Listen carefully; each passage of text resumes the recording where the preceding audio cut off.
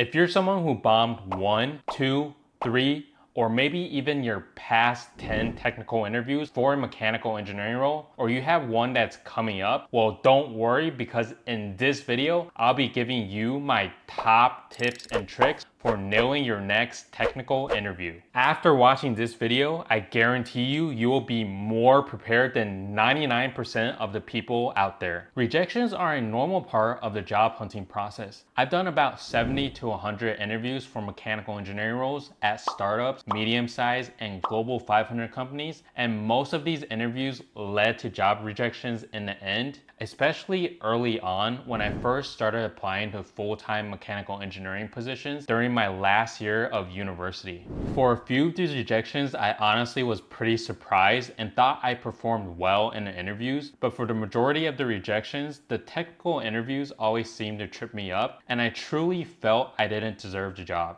However, despite so many failures and feeling depressed after each rejection, these rejections really exposed my weaknesses and taught me so much. All of these job rejections ultimately made me better for my next interview and were the reason why I was able to land so many job offers in the end. Obviously, the ideal situation for all of you would be to take a more direct path to success than I did and to avoid so many job rejections. And the goal of this video is to help you do that. As a fresh graduate, I didn't have the luxury of having a mentor who could spoon feed me advice on how to ace interviews. Universities sure as hell don't teach us these things. And what I noticed is there are a ton of resources on Google and YouTube on how to ace software engineering coding interviews, but virtually none for mechanical engineering interviews. So here are some things I would do differently to prepare for technical interviews if I could start over. Number one is interview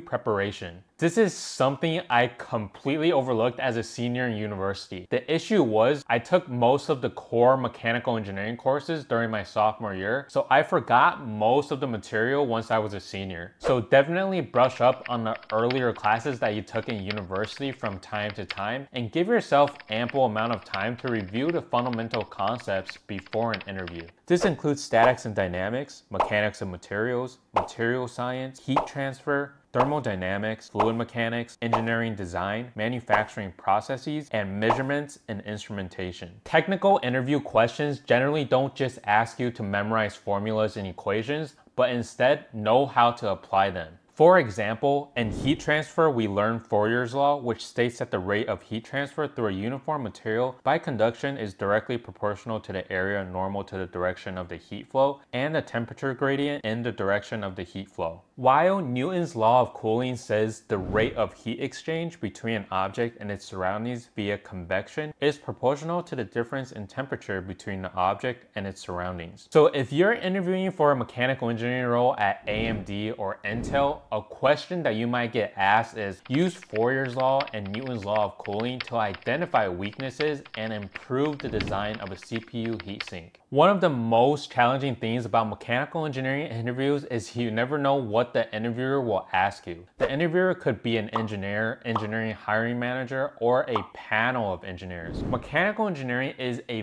very broad discipline and there is a lot of knowledge to acquire. This is one of the biggest roadblocks that I see many fresh mechanical engineering graduates, including my former self, struggle to overcome because the technical questions that employers ask are either very specific or have to do with technical challenges that the company is currently facing. Then there are those questions that you would only be able to answer if you did a lot of technical interviews in the past or if you worked as an engineer in industry for a year or two through an internship or co-op. Unlike coding technical interviews where most of the questions are transparent and available online on Google, YouTube, and platforms like LeetCode and AlgoExpert, mechanical engineering interviews can vary significantly from company to company and are way harder to prepare for. To help you guys out, I put together a list of 80 technical questions spanning all aspects of mechanical engineering that I think are great to know and hopefully will help you land your dream job keep in mind that the solutions are not included. I think it's very important that you do your own research and to think through the problems yourself, which will help you better prepare for the technical interview. And instead of memorizing answers and regurgitating them during an interview. So for those of you who are interested, check out the link in the description below. One other very effective strategy that I failed to use early on but I implement now is analyzing the job description of whatever role I'm interviewing for.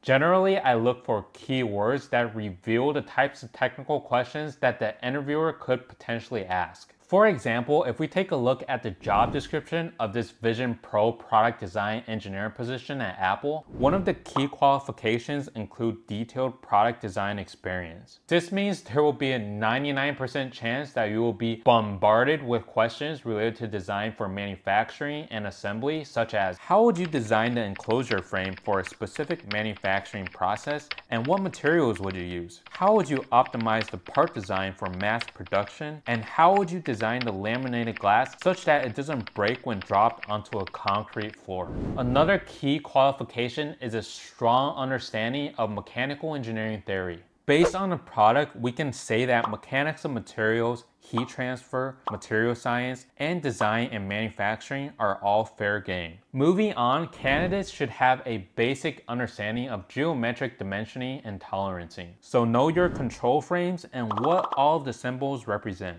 The candidate should also be proficient at tolerance analysis. This means that during an interview, you should expect Apple to give you an assembly and ask you to complete a tolerance analysis, or at a bare minimum, ask you how you would go about conducting one.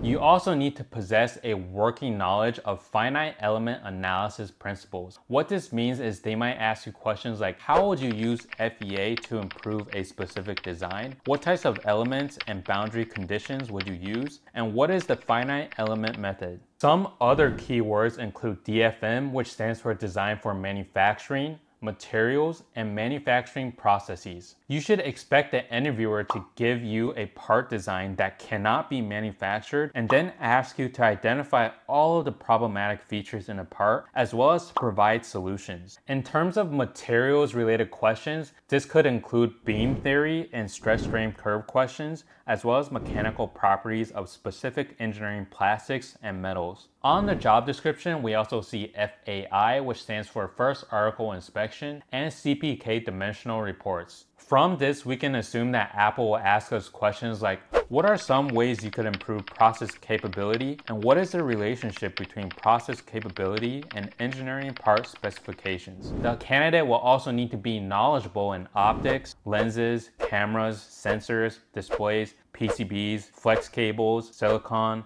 antennas, batteries, thermals, and mechanisms. Because this is a mechanical engineering role, the interviewer wouldn't ask you to design a circuit or electrical engineering related theory unless he or she is a dick of course, but instead how would you mount the camera components, lenses, sensors, and how would you manage the cables and make all of the components waterproof? In terms of optics, based on the job description and title, I don't think you would need to be an expert at designing light pipes, diffusers, and lenses, but you would need to have a general knowledge of Snell's law, the law of reflection, and optical properties of different materials. Based on the job description, you should also expect one or two questions related to DOEs, which stand for Design of Experiments, and the process for conducting root cause analysis. As you can see, just by analyzing the job description, we can get a really good sense of what the interviewer might ask. One last tip for preparing for technical interviews is read the machinery's handbook. Read it before bed instead of swiping through TikTok videos on your phone and wasting your life away. You'll thank me later. It does an exceptional job at summarizing and highlighting the important mechanical engineering concepts and is a must have for mechanical engineers. Link in the description below if you're interested. The second thing I would do differently if I could start over is I would know my own resume inside and out. If you made it past the first round of interviews with HR and on to the second round, it's very likely your resume is pretty good. But bear in mind that your resume can either be your best friend or worst enemy. I bombed my first couple of interviews because I didn't know my own resume well enough. As I mentioned earlier, the job description is the best place for us to look for keywords that hint what questions the interviewers will ask us. Well, guess what? So is your resume. Know every bullet point and every word in every sentence because engineering managers love to kick off interviews by going through your resume before getting into the actual meat of the technical question. For instance, if you wrote on your resume, led the design efforts of an electronic enclosure for plastic injection molding and resolved DFM challenges with vendors, be prepared for the interviewer to fire off questions like a machine gun. Why did you use plastic injection molding for the enclosure and not some other process? What materials did you use and why? What does the stress strain curve look like for that material? What were the weaknesses of your design and how would you improve it? Why weren't you able to design the part so that it was manufacturable the first time around? What drafting and shutoff angles did you use and why?